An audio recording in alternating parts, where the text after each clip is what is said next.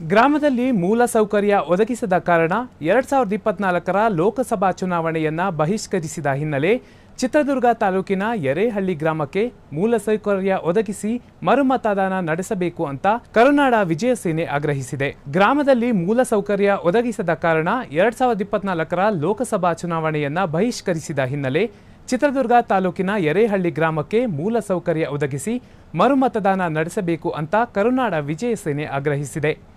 ಚಿತ್ರದುರ್ಗ ತಾಲೂಕಿನ ಎರೆಹಳ್ಳಿಯಲ್ಲಿ ಕಳೆದ ಸುಮಾರು ವರ್ಷಗಳಿಂದ ಜನರಿಗೆ ಮೂಲಸೌಕರ್ಯ ಇಲ್ಲ. ಗ್ರಾಮದಲ್ಲಿ ದಿನಕ್ಕೆ ಮೂರು ಗಂಟೆಗಳ ಕಾಲ ಮಾತ್ರ ಕರೆಂಟ್ ಇರುತ್ತೆ. ಮೊಬೈಲ್ ಸಿಗ್ನಲ್ ಸಿಗದೆ ಗ್ರಾಮ ನಾಗರಿಕ ಪ್ರಪಂಚದಿಂದ ದೂರ ಉಳಿದಿದೆ. ಮಕ್ಕಳ ವಿದ್ಯಾಭ್ಯಾಸಕ್ಕೆ ಇದರಿಂದ ತೊಂದರೆಯಾಗ್ತಿದೆ ಅಂತ ಗ್ರಾಮಸ್ಥರು, ಅಧಿಕಾರಿಗಳು, ಜನಪ್ರತಿನಿಧಿಗಳ ಗಮನಕ್ಕೆ ತಂದರೂ ಪ್ರಯೋಜನವಾಗಲಿಲ್ಲ.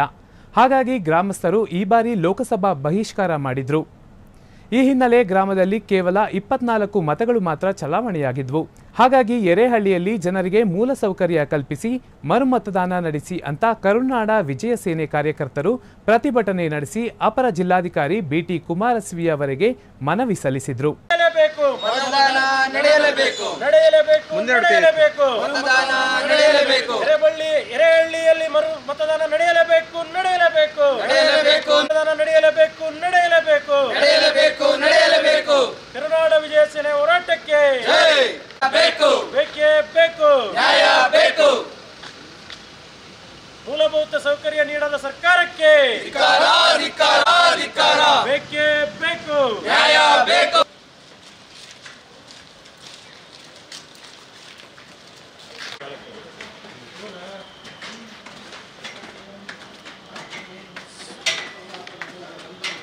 ಏನು ಯಾರ ಆಕ್ಸಿಡೆಂಟ್ ಆಗಿದ್ರೆ ಹೇಗೆ ಹೋಗ್ಬೇಕಂದ್ರೆ one naught eight one naught ಟೂಗೆನೆ ಸಿಗಲ್ಲ ಅಂತಂದ್ರೆ ಈಗ ಮುಂದೆ ಜಿಲ್ಲಾಧಿಕಾರಿಗಳು ಜಿಲ್ಲಾಧಿಕಾರಿಗಳು ಹೇಳಿಗಾದ್ರೂ ಜಿಲ್ಲಾಧಿಕಾರಿಗಳ ಕಚೇರಿ ಮಾಡಿದ್ರೆ ಅಲ್ಲಿ ಎಲ್ಲ ರೀತಿಯ ಸೌಲಭ್ಯಗಳೆಲ್ಲ ಸಿಗುತ್ತೆ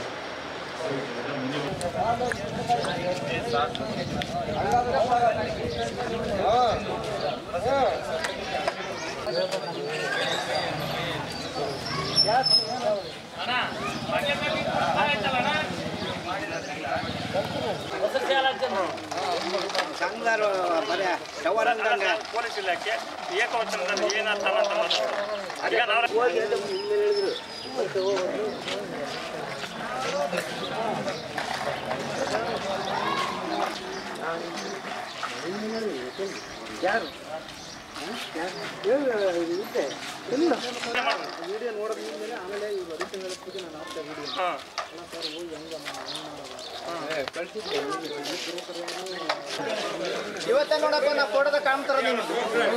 ಇಷ್ಟನ ಕಂಡೆಲ್ಲ ಎರಳಿ ಮಕ್ಕಳನ್ನ ನೋಡಿಲ್ಲ ಯಾರು ಮಕ್ಕನೋ ಎರಳಿ ಇಡೀ ಕರ್ನಾಟಕ ಚಿತ್ರದುರ್ಗ ಡಿಸ್ಟಿಕ್ನಾಗ ನೋಡಿಲ್ಲ ಲಾಸ್ಟ್ ಟೈಮ್ ನೀವೇ ವಿಡಿಯೋ ಮಾಡಿ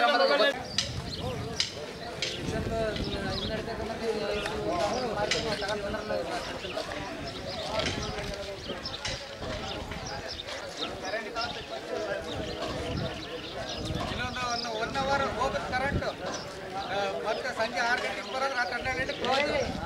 ಈಗ ಗ್ರಾಮ ಠಾಣೆಯಲ್ಲಿ ಬಿ ಎಸ್ ಎನ್ ಎಲ್ಗೆ ಸಿಕ್ಸ್ಟಿ ಸಿಕ್ಸ್ ಹಂಡ್ರೆಡ್ ಅದು ಮಾಡಿ. ಜಾಗ ತೋರಿಸ್ತೀವಿ ಸರ್. ಅದನ್ನು ಮಾಡ್ಕೊಂಡು ಹೋಗಿ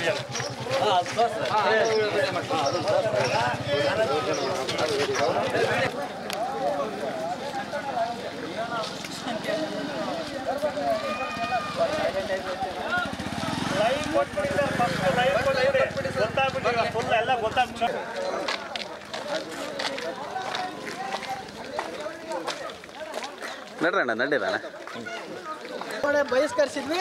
ಅಷ್ಟೇ ನಾವು ಮೂಲಭೂತ ಸೌಕರ್ಯ ಸಿಗೋ ತಕ್ಷಣ ಚುನಾವಣೆಯನ್ನ ಬಹಿಷ್ಕರಿಸೋಣ. ಜಿಲ್ಲಾಧಿಕಾರಿ ಬರಲಿ? ಬೇಡಿಕೆ.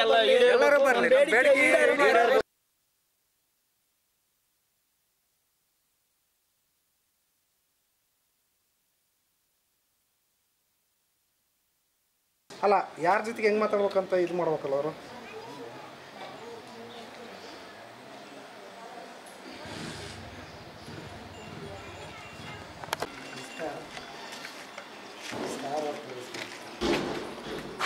ನಿಮ್ಮವ್ರೇನು ಸರ್ ನಿನ್ನೆ ಡಿ ಎಸ್ ಪಿ ಹಂಗೆಲ್ಲ ಆವಾಜ್ ಹಾಕ್ಬಿಟ್ಟಾರೆ?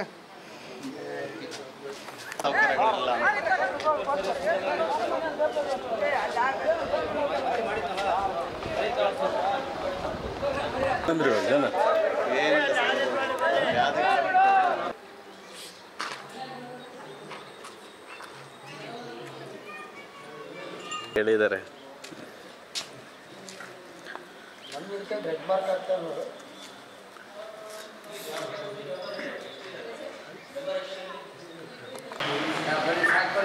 neanche